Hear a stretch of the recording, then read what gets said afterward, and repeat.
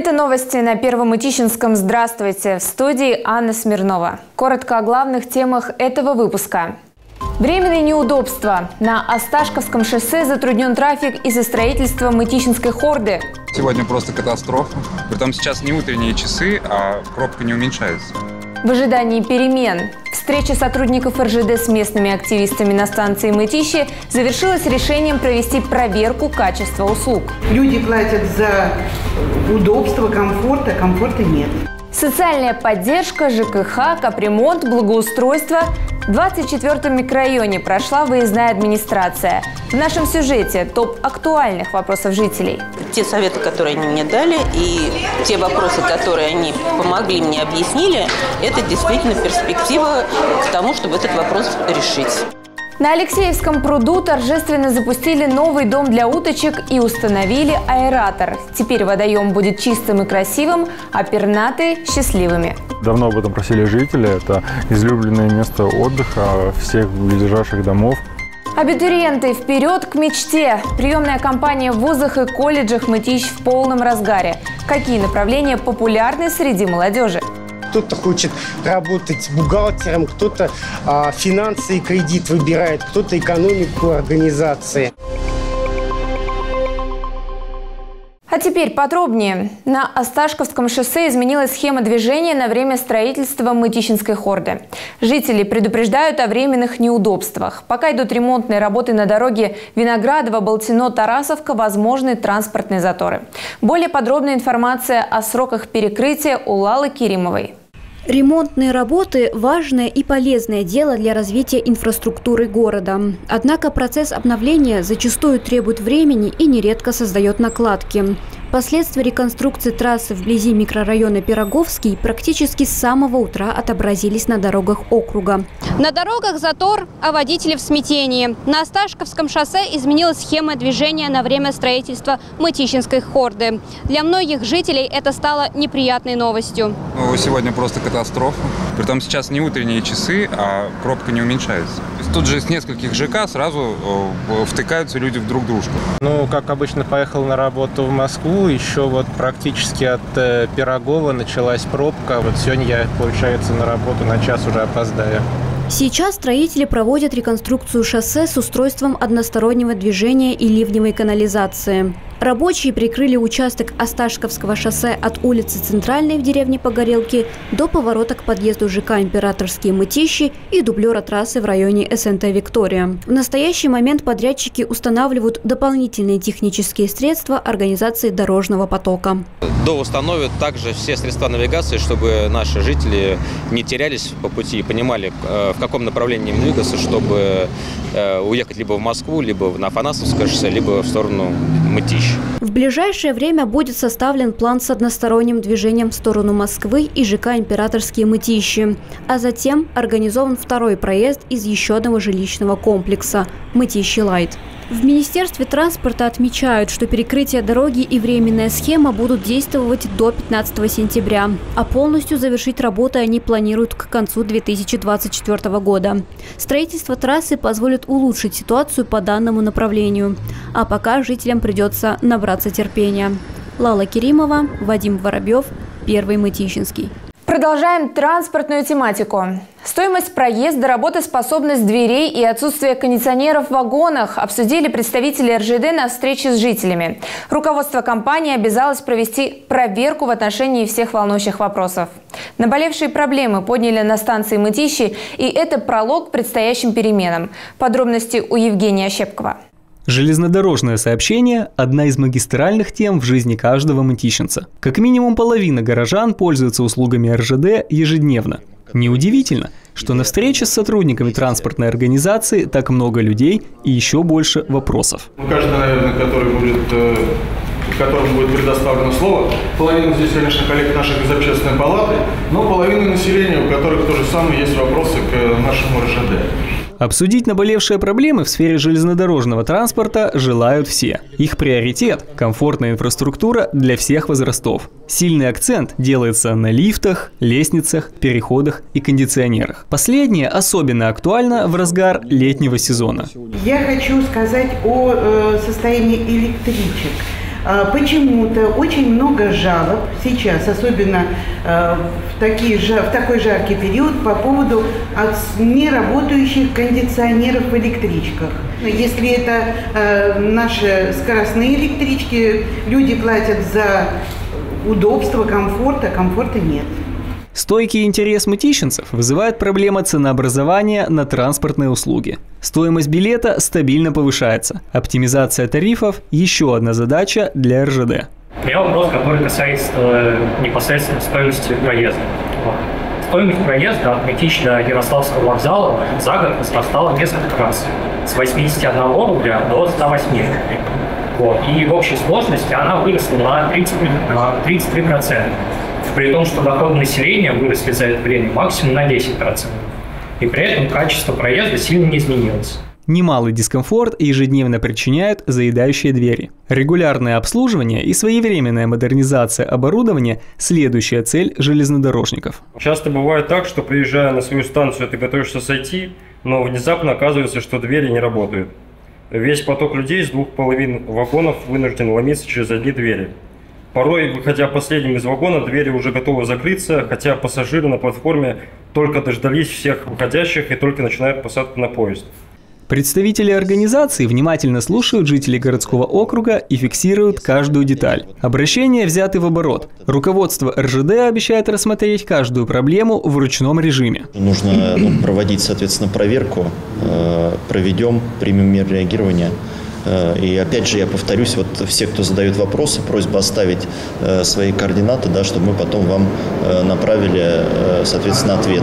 Диалог с пассажирами помогает РЖД работать над ошибками. Каждая из решенных проблем – облегчение для тысяч мытищенцев. Евгений Щепков, Денис Корнев, Первый Мытищинский.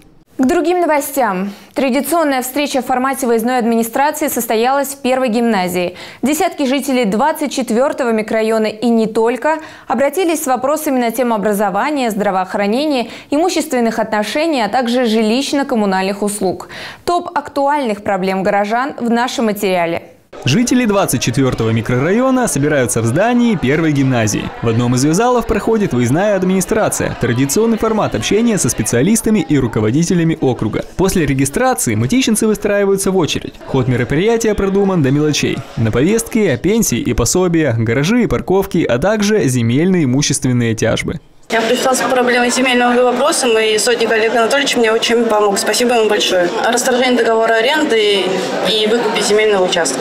Беспокойство жителей городского округа вызывает новая система ценообразования тарифов ЖКХ. Увеличение расходов на свет, газ или воду – серьезный повод перейти на выездную администрацию. Проблема у нас в этом году возникла такая. Если до этого года с нас брали на общедомовые нужды холодную воду с квадратного метра квартиры, то в этом году, не знаем по какому постановлению, нам номер его не назвали, сказали, что по новому постановлению берется в кубометрах. Пока не будут э, во всех квартирах стоять счетчики на воду, проблема не будет решена. Капитальный ремонт домов – актуальный вопрос для мытищенцев. По итогам обращения к специалистам, еще один дом преобразится до неузнаваемости. Мы пришли э, с проблемой по ремонту, капитальному ремонту фасада нашего дома. Чтобы нас включили в программу на 26 год, мы обращались к Яськеву Ивану Васильевичу и, э, соответственно, получили от него разъяснение, что да, наш дом включат в капремонт 26 года. Ну, соответственно, наша проблема была, в общем-то, решена. Комплексное благоустройство придомовых территорий также не осталось без внимания. Всем жителям дают подробную консультацию по тому или иному вопросу. Я приходила с вопросом по э, улучшению благоустройства нашей территории. Э, вопрос рассматривал Дунаев, Нуштаев и Фомочкин. Э, спасибо. Те советы, которые они мне дали, и те вопросы, которые они помогли мне объяснили, это действительно перспектива к тому, чтобы этот вопрос решить. Выездная администрация – не просто формальное мероприятие. Это десятки человеческих судеб и насущных проблем. За анонсами следующей встречи следите на наших официальных ресурсах. Евгений Щепков, Первый Медищинский. А теперь о благоустройстве. Стартовали работы при конструкции центрального сквера в микрорайоне Пироговский. В результате обновления там заменят плитку, проведут озеленение, обновят линию уличного освещения, а также установят площадку для скейтеров и самокатчиков. Процесс ремонта на объекте проверила контрольная группа администрации. Наш корреспондент тоже побывал на объекте. Сквер в Пироговском славится своими просторами и красивыми видами. Для многих местных жителей он стал центром микрорайона. Здесь проходит множество торжественных и памятных мероприятий. Тут же расположено одно из любимых мест отдыха пироговцев. Но скоро это пространство станет еще лучше. В аллее полным ходом идет реконструкция. А культура здесь же всегда у нас проводит какие-то мероприятия, да? Мы предусмотрели какой-то щит для них. Да. Щит, вот он есть.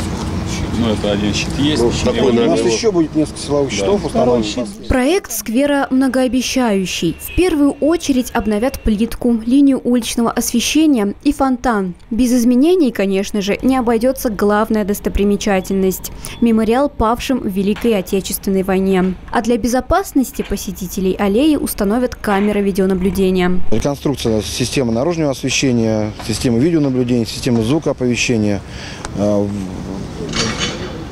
Гранит на э, фонтанных э, сегментах будет полностью заменен на новый. Дальше больше. В рамках проекта на территории проведут озеленение, а также создадут спортивную зону для скейтеров и самокатчиков. Уже в начале сентября сквер предстанет в новом, улучшенном виде. Все работы уже идут полным ходом и планируем к Дню города все закончить, чтобы жители получили подарок на день рождения нашего городского округа. Ремонтные работы сквера – мера временная, а вот их результат будет радовать мытищенцев еще долгие годы. Лала Керимова, Вадим Воробьев, Первый Мытищинский. Продолжаем выпуск. Ремонтные работы в бассейне Бригантины перешагнули основной рубеж. Мембраны большой и малой чаш заменены. Идет установка противоскользящей плитки и обустройство душевых, а также реализация дизайн-проекта холла. 15-летие спортивный объект готовится встретить в обновленном виде. Тонкости строительного процесса и сроки открытия в нашем следующем сюжете. Здесь должно быть все чисто, стерильно. 1 августа в бассейне Бригантина все должно быть сделано. Пригодная для плавания вода в чашах, оборудованные душевые, расставленная мебель и новая плитка. Пока на объекте ведутся работы, но самые сложные из них уже позади. Времени до встречи с чемпионами и любителями здорового образа жизни осталось немного. Подрядчик наращивает темпы. Здесь просто на небольшом участке проводится сразу очень много большой комплекс работ. Необходимо правильно спланировать. Есть достаточно сложные системы, мы меняли именно в бассейне. Вот. Работы по ним завершены. Меняются светильники. Соответственно, мы делаем новую проводку. У нас здесь будет все выполнено по дизайн-проекту. Симпатично, красиво. Дизайн-проект в стиле лофт будет реализован в холле спортивного комплекса. Он превратится в стильное пространство, где родители смогут комфортно ждать своих спортсменов после тренировок. В душевых и раздевалках уже заменена плитка с глянцевой на противоскользящую, более безопасную. Осталось завершить этот этап вокруг бассейна. Буквально через несколько дней мастера Мастера закончат работы в большой и малой чашах и начнется заливка воды. Процесс займет около двух недель. Работы еще много. Мы видим, что люди занимаются, но тем не менее сроки тоже у нас 1 августа мы должны уже здесь а, провести мероприятие.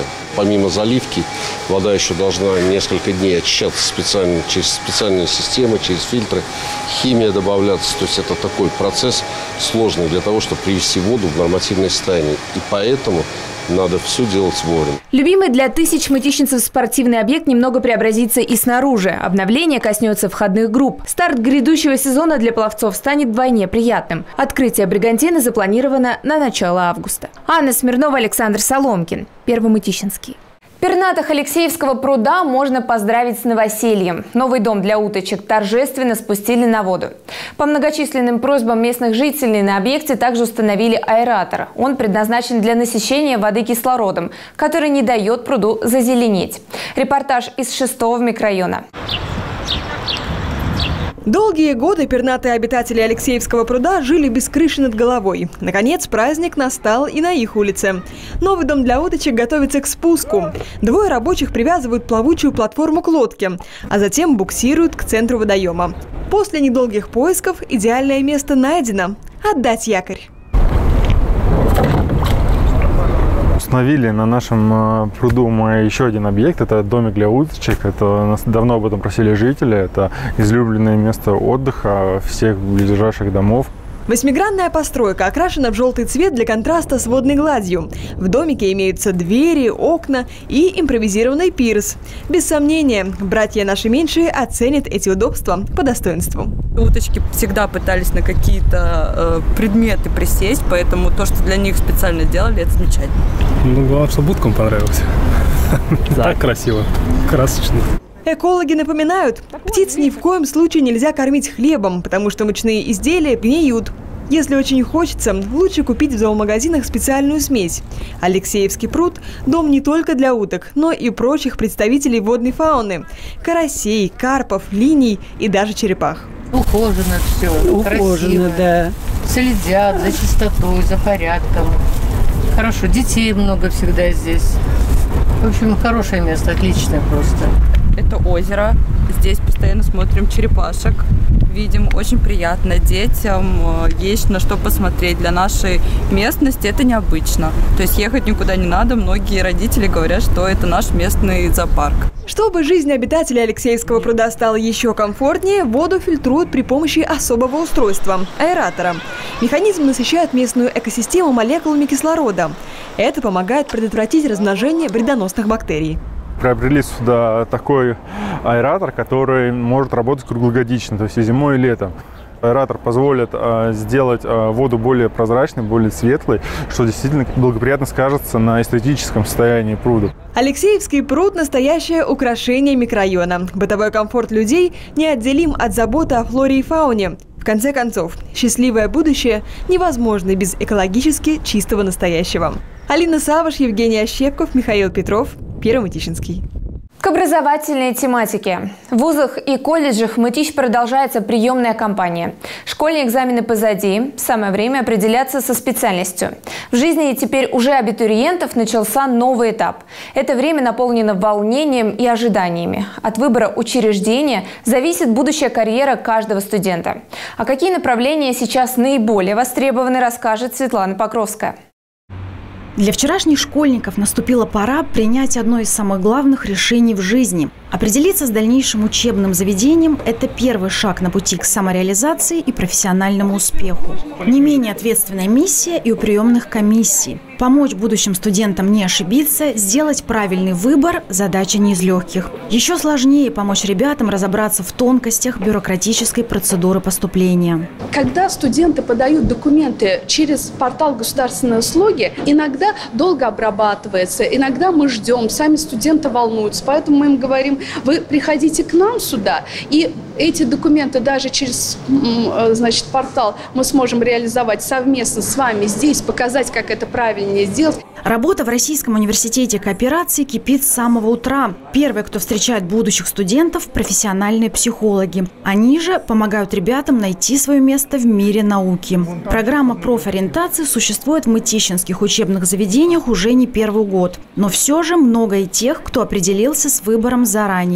Между собой борется это юриспруденция, а, государственное и муниципальное управление, а, потом у нас, а, как всегда, это экономический блок, поскольку у нас экономики несколько профилей. Кто-то хочет работать бухгалтером, кто-то а, финансы и кредит выбирает, кто-то экономику организации. Нередкий случай, когда, закончив обучение в колледже, студент выбирает для себя другой путь. Ирина Салеева – квалифицированный юрист, но в какой-то момент девушка решилась на кардинальные перемены решила пойти на специальный сервис, на бюджетные места, потому что захотелось попробовать что-то новое и попробовать себя в совершенно другой специальности. На данный момент внутренний туризм достаточно востребован, поэтому э, даже в течение обучения будет возможность найти хорошо оплачиваемую работу. Насыщенные будни и в приемной комиссии Мытищинского колледжа. Ребята стараются как можно скорее подать заявление и побороться за бюджетные места, а их количество всегда ограничено. У нас всегда была такая плавающая история. Мы один год выпускали большое количество, набирали большое количество. На следующий год значит, э, выпускали э, меньше и меньше набирали. Но в этом году большой скачок в связи с тем, что есть большие потребности э, в, в, в кадрах и предприятия города очень сильно нуждаются. А на помощь предприятиям, которых в мытищах более 4 тысяч, уже не первый год приходит федеральная образовательная программа «Профессионалитет». Будущие специалисты активно проходят практику в процессе самого обучения.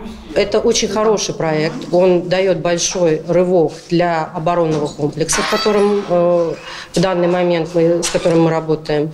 Э, действительно поможет ребятам увидеть предприятие, увидеть производство. У нас разработана карьерная карта с предприятием. Не секрет, что при выборе специальности многие ребята смотрят далеко вперед, оценивают будущие условия труда на перспективу. Но есть профессии, о которых зачастую забывают, а зря, ведь они не менее важны. Самая, наверное, недооцененная специальность – это профессия плотника. А, туда обычно подают ребята только те, которые там с низким баллом, хотя достаточно востребованная профессия. А, на выходе ребята потом получают достаточно высокие зарплаты в различных местах.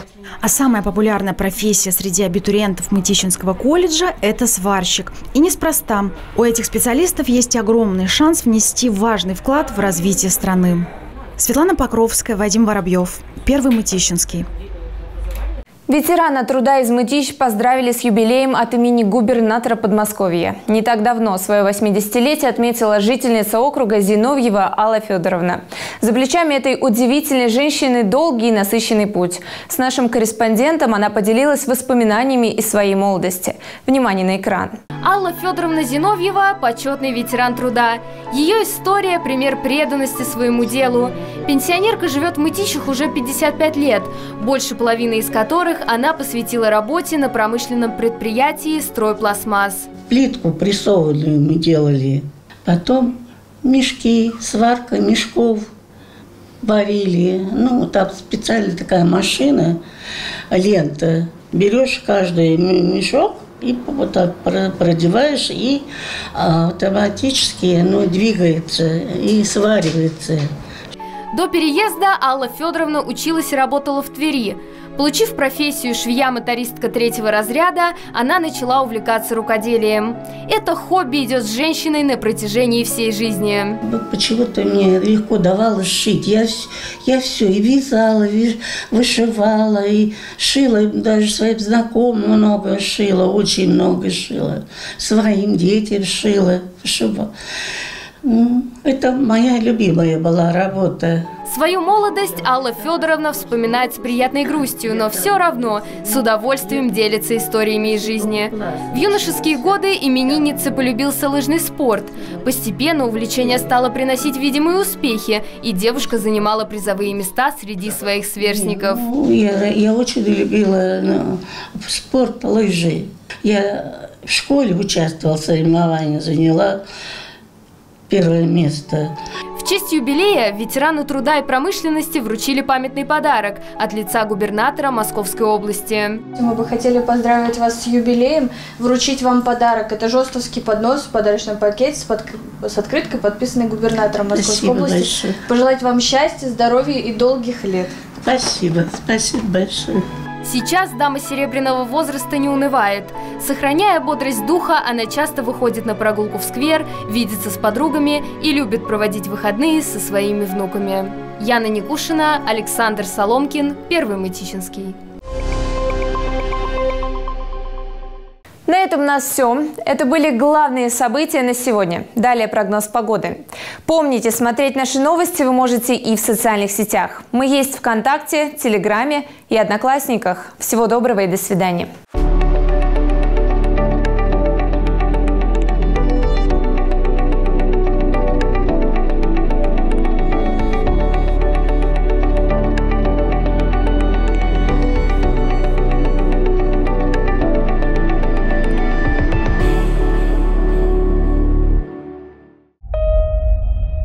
Вода не прощает ошибок. Помните об этом. Купайтесь исключительно в разрешенных местах. Ныряйте только со спецплощадок, убедившись в чистоте и безопасности дна. Ни в коем случае не заплывайте за буйки, особенно при сильных волнах и порывистом ветре. Не заходите в воду в нетрезвом виде и избегайте перегрева в воде.